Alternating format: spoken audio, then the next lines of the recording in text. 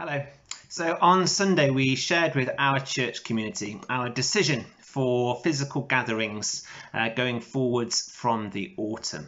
And we said that after a long process with lots of prayer, with lots of discussion within our leadership team, uh, with coming to the whole church through the questionnaire, after approaching lots of different venues uh, around the Yate area, we've come to the point where we think the best option for us going forward to physical gatherings is a four o'clock afternoon service at St Nick's Church in Abbotswood. Now, this is obviously very new. Uh, it's new from the perspective of it being a new venue, uh, a new environment in which we'll be meeting. But I imagine for most of us, it's new in terms of timing. Uh, and going for an afternoon service will clearly be uh, a very different idea to what probably for lots of us we've done previously, uh, which is go to church either in the mornings or the evenings. And we just want to state from the outset that this isn't our 20 year vision. Uh, this isn't what the next two decades of Christ the Rock are going to look like. This is very much what we think is opening up for us in terms of the season ahead. And I just want to give you three key reasons behind uh, what's brought us to this point. So the first is that missionally, we think St Nick's is a fantastic venue for positioning our Sunday gatherings. It's centrally located, uh, right in the heart of South Yate. It's clearly visible to all the surrounding area and residential housing. Uh, it's already used by lots of different community groups across the week, and we're hoping that because uh, we're obviously using another church's building, it'll show people uh, a high level of unity between our different church bodies.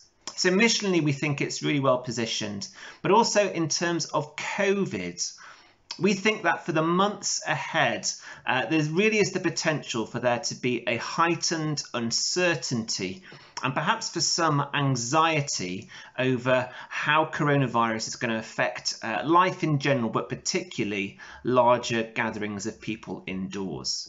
And so we felt like it was really important uh, to meet somewhere where we could, as much as we can, help people feel secure in terms of the spread of the virus. And for those of you who have been to St Nick's, you'll know that it's got a lovely, large, uh, very spacious main room, which is where we'll be hosting our church services. Uh, there's lots of doors to the outside from this main room, so it's very well ventilated, lots of windows too. Uh, space for us to be sat socially distanced if we want but also for the building as a whole, um, it's still very well ventilated to the outside, but because of the different rooms and the layouts, we think there's the potential to have uh, certain areas for people to sit uh, apart from the main room, but still connected to it, where they can sit socially distanced, wearing masks and so on, and just have that feeling at least uh, of feeling more secure. So missionally, we think St Nick's really works. Uh, in terms of COVID, we think it's a good option. Um, but also practically, uh, it actually ticks a lot of boxes. When we came to you with the church questionnaire, uh, there were five key priorities that came out across our community. Uh, there was a desire for there to be rooms for children and youth activities, uh, ease of access, ventilation, being big enough for us all to meet in one place, and being in or nearby Yate itself. And St Nick's meets each of these. Uh, with the additional mini bonuses of uh, being very good in terms of being able to do refreshments from their kitchen, uh, but also having uh, very useful parking facilities and, and lots of other practical stuff. So, like I said, we think this is a really good decision for us going forwards. However, we do recognise that having an afternoon meeting uh, might be particularly challenging for some of us either perhaps like me, uh, you're used to having a Sunday morning meeting and it will be a bit of a shift uh, in terms of lifestyle to move to the afternoons. But we also recognize that actually there are going to be people who already have commitments uh, on Sunday afternoons. And we do understand that this might be a really challenging piece of news for you if that's where you are. And so we want to say very clearly um, that this is a decision we're going to put a review in at the end of this year. So as we get towards late December, early January, we'll come back to you as a church community and try and get a sense of your views, your feelings about how the previous few months have gone.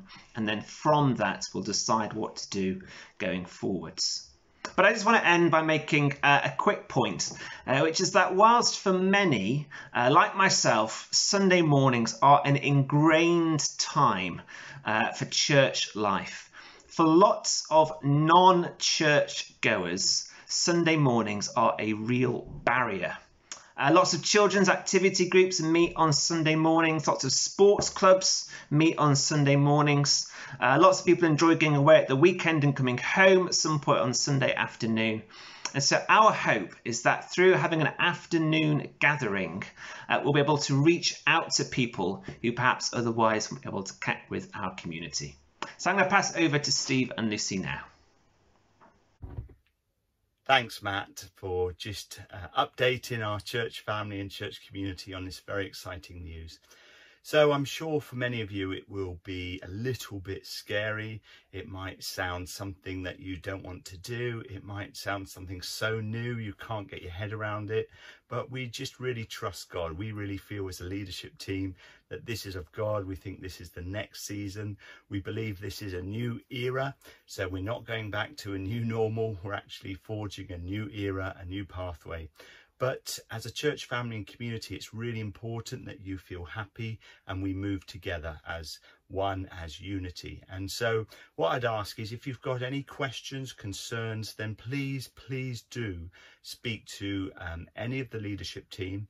Um, you can arrange for time with Lucy and myself with coffee or chat, uh, Zoom or meet in our garden. Um, you can talk to Matt. So any of the leadership team, any of the elders, and we'd love to hear your views, whether positive or negative.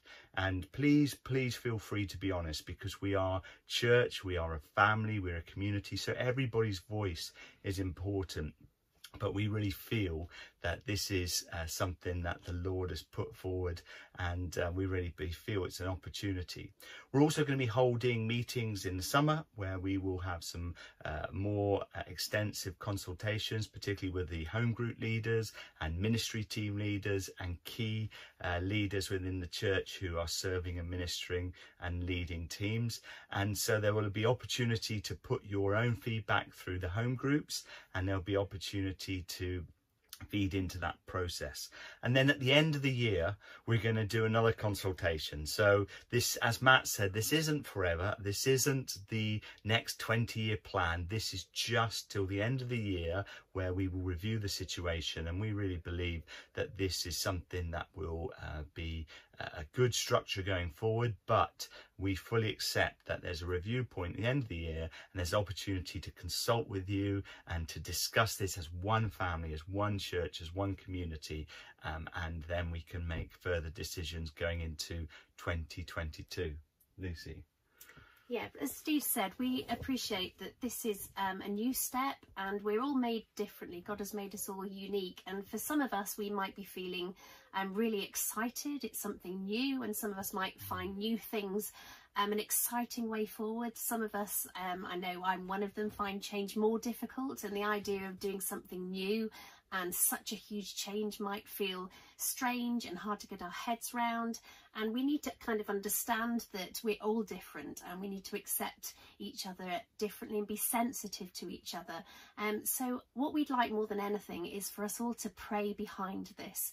Um, it's God's church it's not our church and we really would appreciate prayer um, and that's praying for our own feelings as well that we can put those in front of God and just pray that we want his way for his church and that we can lay our own feelings into his hands too and just pray that we want what God wants for his church. And that can be quite hard because sometimes it's hard to understand what's our own feelings and what's what God wants but we really want what's best for CTR, what God wants for his best, because we know that God wants what's best um, and mm. that's what we want. So can we ask that you pray um, for our church and for each other um, don't just pray for yourself, pray for other people in our church who might really struggle with this decision.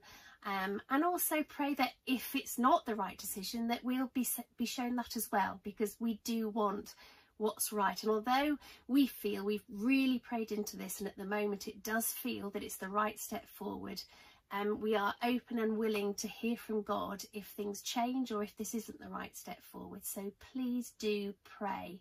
Um, and we want to be led by God in this.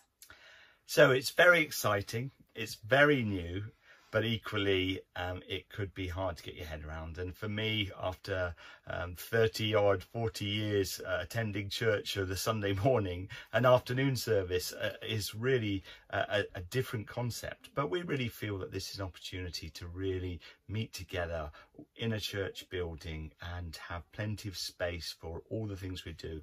But do get in touch if you've got questions, concerns and queries. But we really look forward together as church, working this out together.